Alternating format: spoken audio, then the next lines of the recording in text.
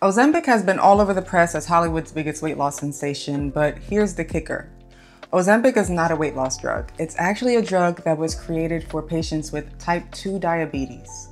And with any drug, there are benefits, but there are also risks. My name is Dominique, and I'm a clinical pharmacist, and I'm here to weigh in on the Ozempic conversation. Get it? Weigh in? Okay, I'm sorry. But Let's talk about what Ozempic is, how it works, and how it can be fantastic, and also how it can be problematic. Ozempic is the brand name for semaglutide, which belongs to a drug class called GLP-1 agonists.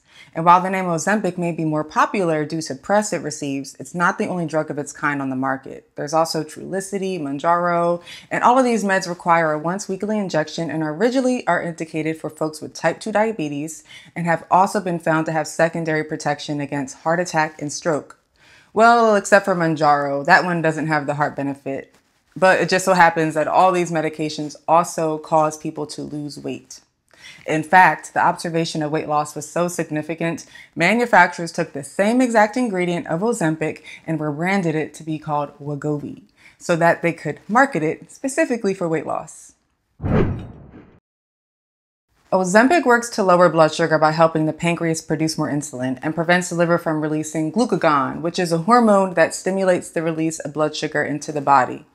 In simple terms, it helps your body efficiently process the sugar and carbs that's ingested from your meals and snacks, while also pumping the brakes on the release of your own blood sugar that's already stored within your body.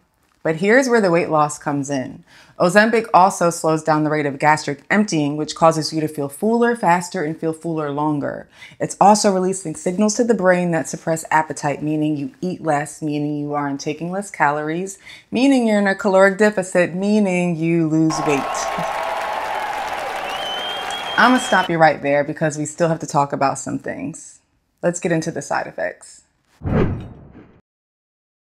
Well, my dear, slowing down gastric emptying can have significant consequences. In fact, up to 45% of patients experience gastrointestinal side effects such as nausea, vomiting, diarrhea, abdominal pain, and constipation. And when we're using it for body weight reduction alone, these therapies have been associated with even more severe gastrointestinal risks, including gastroparesis and gastric obstruction. Please note this drug class has a warning that their use can increase the risk of thyroid cancer.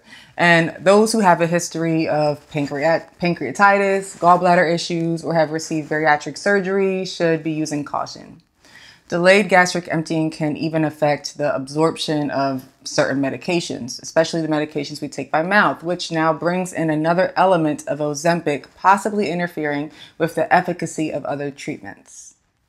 But remember what I said, every drug has risk and side effects, and the risk will vary per the individual. So what matters most is that you are talking to your doctor and assuring that every decision being made about your health is, is a decision where the benefit is outweighing the risk. Here's another pharmacist observation for you. Ozempic ain't cheap, but you probably knew that too. People are still finding a way, however, with or without diabetes. The price for Ozempic costs close to 390 for a single dose, and since these are injections are dosed once a week, if we do the math, 390 times 4 weeks equals $1,560 per month. And naturally, people don't want to pay these prices, and neither do the insurance companies. But most insurance companies have policies in place to assure financial assistance for Ozempic is only approved if the patient has a diagnosis of diabetes. You know, the indication for which it was actually approved for. Well, this presents a problem because there's a significant amount of people that are using Ozempic to treat obesity alone. And as there's certainly cases where this is appropriate, there are also cases where it's not such as the young 30 year old something who just wants to lose 30 pounds to fit into a wedding dress and doesn't have any other medical indications and is just refusing to make any lifestyle changes, which has and is creating drug shortages across the country for the people who really need it, causing people with diabetes to go weeks, sometimes even months at a time without the medications that they need to control their blood sugar. But wait, Dominique, how are they still getting it approved if they don't have diabetes?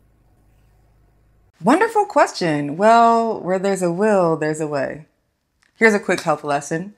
The quick answer is loopholes. Now, remember, I said the insurance company wants to see a patient have a diagnosis of diabetes before they approve Ozempic? Well, there's this term called hyperglycemia that is a fancy medical way of saying high blood sugar, which is what you have if you have diabetes, but it's also what you have if you have any blood sugar readings above normal, which technically doesn't mean you have diabetes. It could just be an early sign of insulin resistance developing due to obesity, also known as prediabetes. It's something to be warned about, but to put this in context, the recommended treatment for prediabetes is lifestyle changes such as weight loss and diet modification. And if we were to use a medication to treat diabetes, it would be metformin, not Ozempic. So many providers will use this diagnosis code of hyperglycemia to get the medication approved, even if the patient doesn't actually have diabetes. Hey, isn't that insurance fraud? Why, yes, it is. And in the event insurance fraud were investigated and confirmed, this could be classified as a felony, resulting in penalties and or jail time. I'm gonna just leave that right there. Next. Yes, of course, but because most cases of obesity are due to personal habits or health restrictions that results in inactivity and caloric surplus, the first line recommendations are to increase physical activity and make diet modifications. When a patient has displayed reasonable efforts to lose weight through diet and exercise and still aren't meeting their goals, then it's appropriate to consider help through medication management. Other causes of obesity and insulin resistance can be due to pre existing medical conditions such as PCOS or the result of long term use of certain medications such as steroids. And the overall goal is to treat the source of the problem before we're even having to consider adding on a medication that can cause other side effects that then require other medications to treat the side effects and so on and so on. Now, Ozempic may not be indicated for weight loss alone, but newer brands such as Wegovy and Zepbound are. I actually will be releasing a video soon that breaks down the difference between these two, Ozempic and Wegovy, and further breaking down the difference between Wegovy and Zepbound. Subscribe to my channel to receive that alert for when that video drops. The take home message is there is a lot of misinformation or not enough information circling around about these medications, leading to inappropriate use. Whether being used for diabetes or weight loss alone, prescribers should be considering the medical, family, and personal history of each patient to calculate their own personalized risk versus benefit ratio. And if the benefit outweighs the risk, then it's a go. But if it doesn't, then it's a no. If you learned something here, like, comment, and share this video. And thank you for being open to learning something new. Stay blessed and stay curious. I'm out.